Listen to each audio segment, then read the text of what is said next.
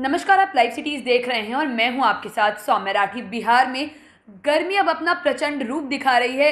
एक एक करके सारे रिकॉर्ड्स टूटते जा रहे हैं। बिहार की राजधानी पटना में भी पिछले छः सालों का रिकॉर्ड टूट चुका है। आपको बता दें कि इस बार पटना में जिस तरीके की गर्मी अप्रैल के महीने में पड़ रही है, पिछले छः सालों के रिकॉर्ड टूट चुके हैं।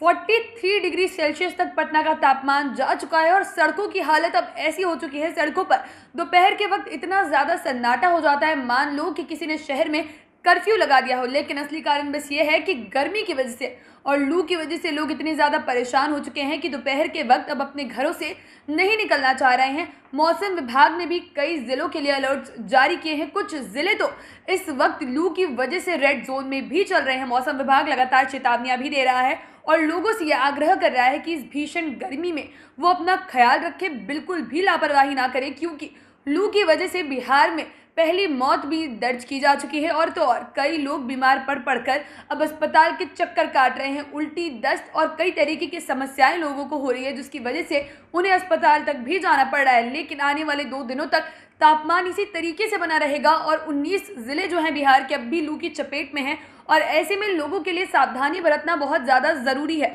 आपको बता दें कि राजस्थान से आ रही गर्म पश्चिमी हवा का प्रभाव प्रदेश के दक्षिणी हिस्सों में बना हुआ है 10 से 12 किलोमीटर। प्रति घंटे की रफ्तार से पछुआ चल रही है मौसम विज्ञान केंद्र के अनुसार।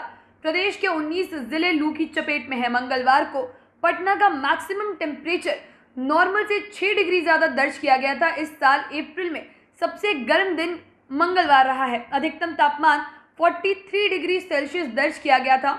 लेकिन पूरे बिहार में सबसे ज़्यादा गर्म जिला बक्सर रहा था, जहाँ का टेम्परेचर 44.7 डिग्री सेल्सियस तक पहुँच गया था। राजधानी समेत पूरे बिहार में चिलचिलाती धूप ने मैक्सिमम टेम्परेचर में बढ़ोतरी कर दी है। राज्य में बड़े हिस्से में हीट वेव यानी कि लू चलने की वजह से आम जनजीवन को काफ़ी ज़्यादा दिक्कतें हो रही है। पछुआ हवा की औसतन रफ्तार 10 से 12 किलोमीटर प्रति घंटे चलने से लू की चपेट में प्रदेश का एक बड़ा हिस्सा आ चुका है पटना में।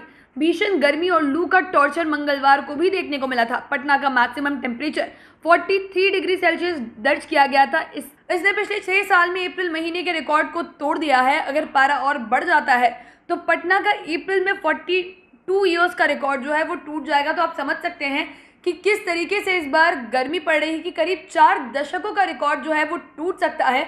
और ऐसे में लोगों के लिए सावधान रहना बेहद ज़रूरी है।